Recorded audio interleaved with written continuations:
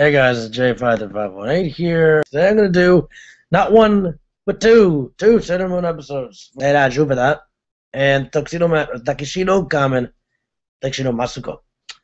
Let's start with number five real quick, shall we? Stories out with Usagi one day, you know, waking up late as usual, heading to school one day. Before she's hit by a car, she's hit by a girl wearing a Utah, tall, muscular girl wearing a school uniform.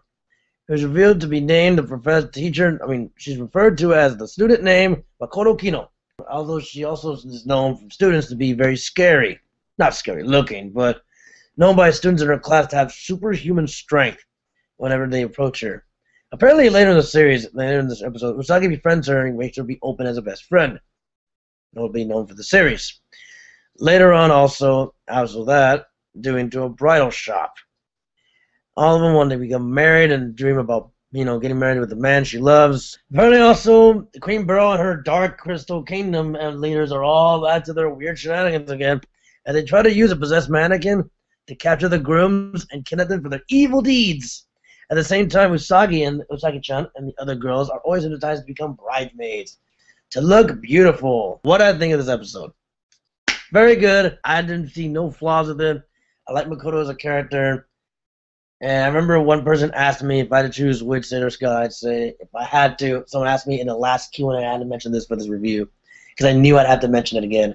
I would choose Jupiter and Mars personally, if I had to choose. I mean, I'm not a big fan of this, but I like new stuff. I'll choose those two.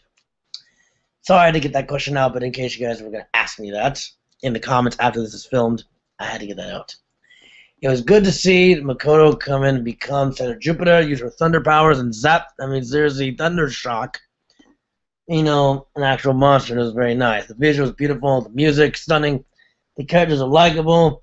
It's. I think we're starting to see the pieces of the Sailor Scout team come together. It's nice that they're connecting. Obviously, since they're all episodes of the same kind of the same series, they're all connecting together to a future event or a big event. I can just. I can't sense what it is but I know just right into this. It's like it's like saying J5. It's right over there. You just gotta get to it. It's a great episode. I like Makoto as a character. Her being one of the tallest of the scouts kind of is interesting. Not just the style, the size. She's very tall and strong. And it would be interesting to see her beat up someone, but you know she's kind of hard. And I liked her backstory a little bit. How she used to be in love, but she was betrayed by a man. But you find out that Nephrite um, actually betrayed her. As you find out that the little history between um, um, Jupiter and Nephrite. The story that she used to be in love with this boy, and he tried to like her, but he ran away from being with her, and it's kind of sad. You know, you feel bad for her. Even though to see her kick some ass and to show off her thunder power, even her flower hurricane. I mean, all those panels. It was like, I feel like if I was in the middle of that, I'd touch that, I'd scarred. I mean, look, it almost it tore off his suit. I mean, it tore his suit. I thought it would, touch, you know, skin him, but I guess that's how power it is. My thoughts on episode 5? 5 out of 5. I loved it. Let's get into episode 6, Tuxedo Mask, or in Japanese is translated into Takeshino Kamen, Takeshino Masuko. The story evolves around kind of the interesting, not so origin, but getting to uh, Mamoru. The real character's name is uh, known as Mamoru Chiba, also known as Tuxedo Mask, or Darien. We all know. Story starts with Tuxedo Mask playing the whole somewhat Batman-esque thing of luring the media that he has committed crimes in order to search for the legendary silver crystal. If y'all know what that is, you already know. I don't explain that. Apparently, to get the people's attention to find it out and try to get it for himself. Also, the Sailor Scouts, when she finds the Guardians, after the Sailor Scouts find out what this is, Sailor Moon thinks that the Tuxedo Mask is not a villain. Even though Luna has her, her, you know, her suspicion that this guy could be a villain. Now, what did I think of this episode? Again, same as last one. Loved it.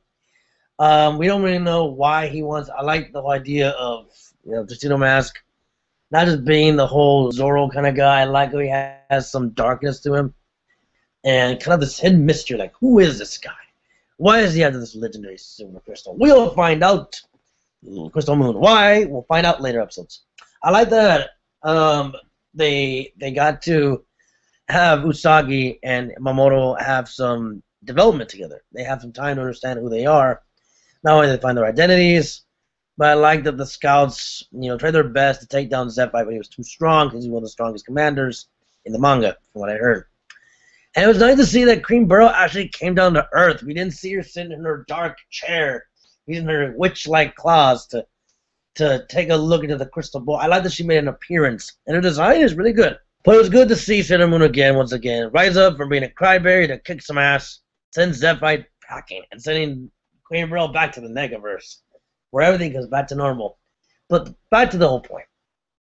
Could they fall in love? Hmm. Well, it's based on the manga, so I think people would say yes. Maybe there's some more development. Maybe they fall in love later. We don't know. The action was very good. I had the idea of using the. I like how Tuxedo Mask up kind of appeared as kind of an anti-villain.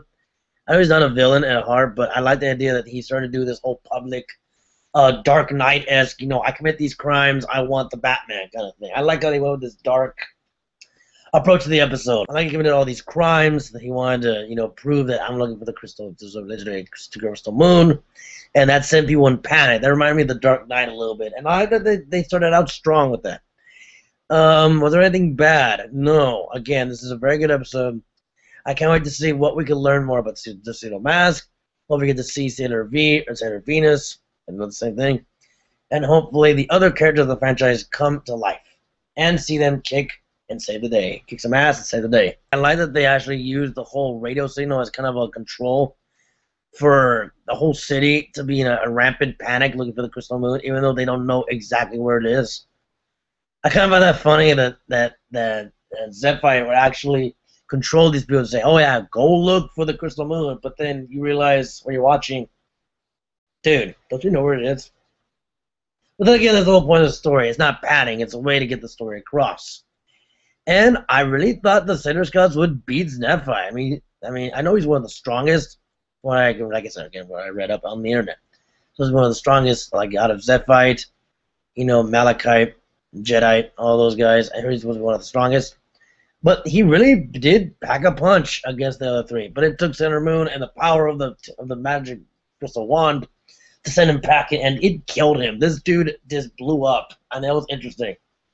I thought he'd put like doing a puff of dark smoke like the original series, but no, this dude gets fried, and that was interesting. I hope he doesn't come back, because then again, that'd be funny if he came back. It's like it would be wrong.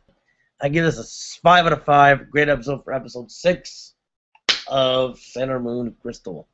Thank you guys for joining me for Anime Chat with J5. J5 sign off. See you guys later, and power on.